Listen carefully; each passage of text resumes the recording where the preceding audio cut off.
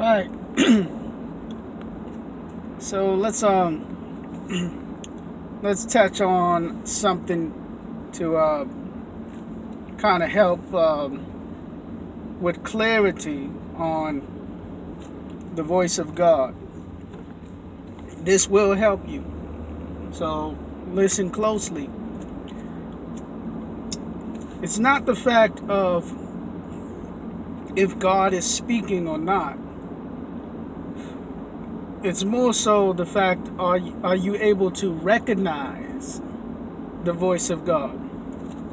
The recognition of God's voice is even more important than you hearing his voice if you're going to move in the direction that he's guiding you in. So the sheep of God hear the voice. He said, My sheep hear my voice. So you do hear it. But the question is, are you able to recognize that voice and move with it? Now, it could be that God is speaking to you in a way that maybe is something that you don't expect to be His voice. He's sending um, His voice and the messages through an inbox that you're not paying attention to, or you're thinking that this just happened by coincidence, um, and you might be missing it because you're not recognizing where he's speaking to you at or how he's speaking to you. So, one of the things I want to deal with is partially of um, how God's voice sounds. Now, we do know that the written word is always something that God's going to speak through.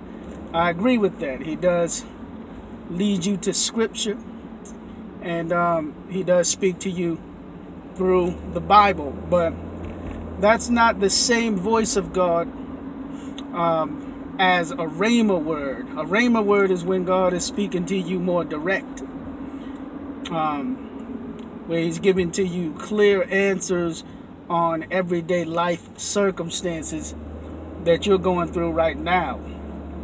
So He will also deal with you based on um, where you are right now and guide you in your daily life circumstances and situations, giving you answers like perhaps maybe what job is best for you and what you should be doing right now, you know, that sort of thing, where you're getting more of a concrete answer that involves your life at this moment rather than just a biblical Bible story of someone else. So one of the ways I want want to help you to understand how he speaks when it comes to a direct answer in regard to your life circumstances now at this moment is let me just use an example. Say you're praying for um, an answer on a relationship. You're dealing with someone, and sometimes that someone that you're dealing with seems to be the right person for you, and then sometimes they seem to be the wrong person for you. Sometimes um, they're they're equally yoked to you, and then sometimes it seems like they're not equally yoked to you, and you're confused about that relationship of whether you should stay in it or move on. You're not sure if God wants you in it or not. Okay, so say you get out of prayer. This is just one example of how the voice of God can come to you, and you just have to be sensitive enough to recognize that that's what He's saying. You get out of prayer, and the next thing you know, you end up going to the grocery store and you run into somebody at the grocery store. Um, you and that somebody at the grocery store just happen to be conversating. It could be maybe an old friend or someone like that. Um, and you're just conversating and you're talking about all kind of different stuff.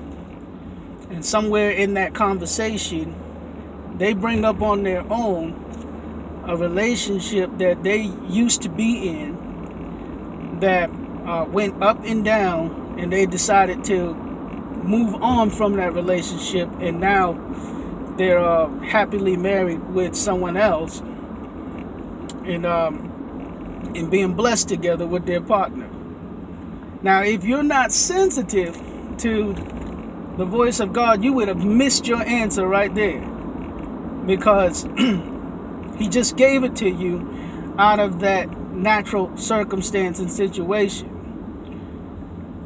See what I'm saying? So sometimes the voice of God can come through little packages like a conversation with somebody and it happened they happen to be talking about some stuff that totally lines up with exactly what you went through. And maybe all the conversation might not be that, but there might be a part of it.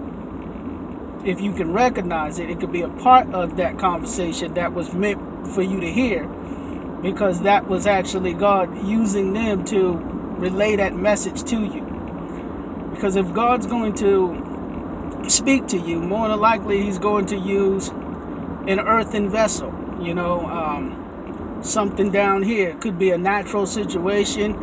Um, sometimes it could just come through a person, somebody saying something that sounds like it's totally corresponding to a prayer that you prayed.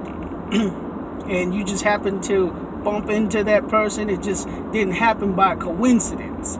That's one of the things you got to know. Um, there are no coincidences in God. When when things happen, it happens on purpose based on purpose and based on divine connection. He sends it for a reason. It's not a coincidence. So you can't take these things lightly. Um, another example. Let me give you a, uh, another example outside of just someone speaking to you. Um, say that you've prayed that same prayer. You're seeking for guidance on relationships or something like that, and you try and figure out if you need to um, move on or something, or if you need to stay. And the next thing you know, you end up getting in your car. It's a bunch of traffic out. You end up driving behind someone, and uh, the person you're driving behind happens to have a bumper sticker that says something like "Keep it moving." and you just happen to run into out of all these cars, out of all these cars, you could have been behind anybody. Out of all these cars, you happen to run into uh, someone with a bumper sticker on the back of their car that sounded like it was corresponding to your prayer. And it said, keep it moving. And you happen to be looking at the bumper sticker when you you very easily could have not been paying attention to that. So you, you got to realize how all of this was orchestrated, um, how it was all set up. All these time frames had to come together in a, a very special way in order for that to even happen. One, you had to get in the car at a certain time and be on the road at a certain time. Two, the person who had the bumper sticker had to be in front of you at a certain time. They had to be on the road at a certain time. Three, out of all the cars that was on the road, you had to get beyond all of that to pull behind the car that actually had your answer on the bumper sticker three. I mean, did I say three? I think I said three or four. We're, somewhere, we're, we're around there somewhere. three or four. Um, matter of fact, let me just say another thing, because I can't remember if we're on three or four. So another thing is, this had to all happen within the same time frame of after you prayed in order for that answer to sound like it was corresponding to your prayer. So all of this had to be set up for that very moment in order to get that answer to you.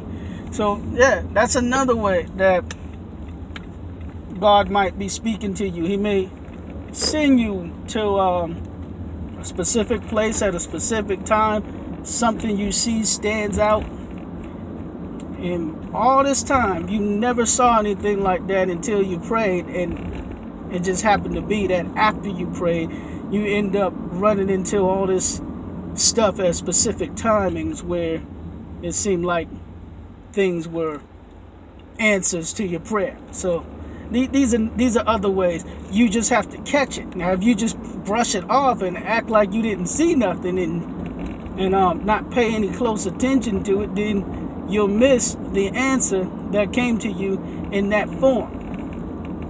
So that's one of the things you have to do after you pray. You got to be uh, very sensitive to any circumstance and situation that you're uh, going through because um, your answer just might come through that. All right, y'all. I'm going to check out. Peace.